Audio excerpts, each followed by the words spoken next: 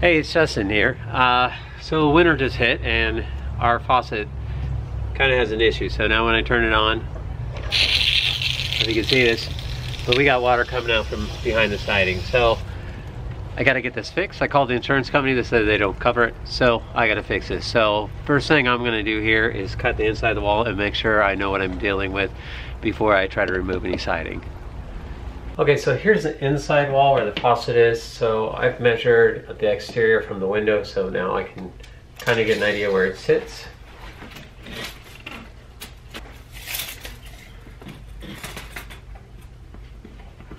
All right, so this is basically where the, the actual faucet is. So I'm gonna cut a hole here and see if I can see what's going on here. All right, let's cut a hole. What's it? I'm gonna cut a hole in the wall. Yeah. Can we hire somebody who can help it? We could. Embarrassing. Learning here, girl. Learning. Learning how to hire somebody? In the end, maybe. right now, we're gonna try ourselves. See what happens. Okay. We're excited. You excited? Yeah! All right. I'm gonna get the yellow pages. Okay, go get the yellow pages. Get them ready. I just used a regular utility knife to cut into the wall.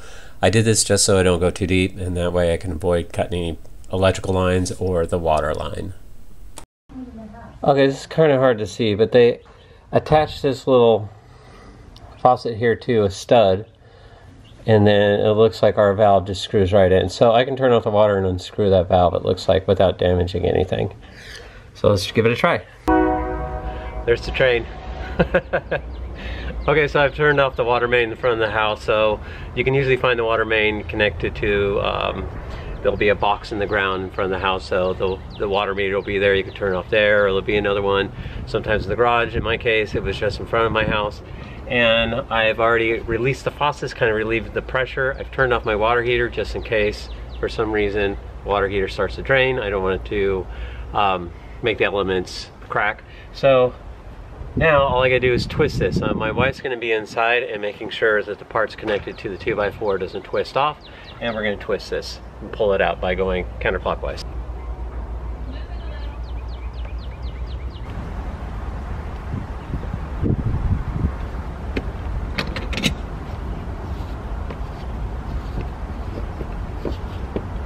Okay, I got it. Can I go? You can let go.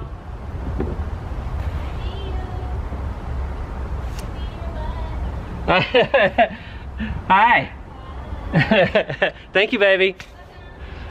Okay, so here's our culprit.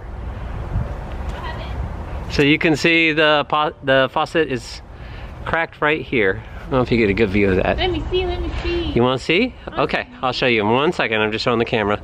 So there's a crack right there. So that's where our pipe busted in the freeze. So I went to Home Depot and I picked up this new Integral vacuum breaker, four inch hydrant. So this is a four inch. So this is the shortest one they had, which is a lot longer than the one I currently have. So I've come up with a plan. I'm gonna use this one and then I'm going to build out a block and I'm gonna put this over it so that we're not running into it. And then I can wrap my hose around it. And then I'll put a block of wood around this and put in some insulation so that it doesn't freeze in there next winter. See how this works. So I'm gonna put a little Teflon on here.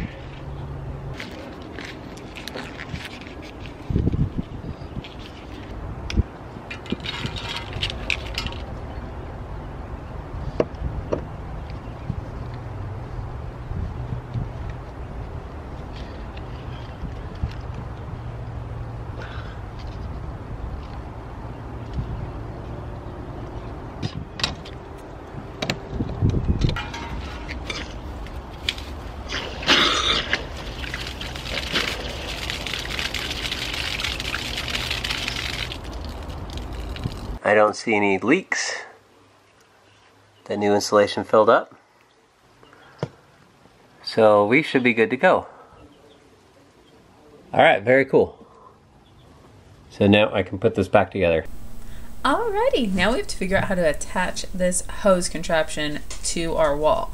So my husband came up with the idea to use the hose contraption as a, I don't know, template to put on some wood so it could sit flush against our siding and then we could use insulation and then that would make it weather resistant. So here we are trying to figure all that nonsense out.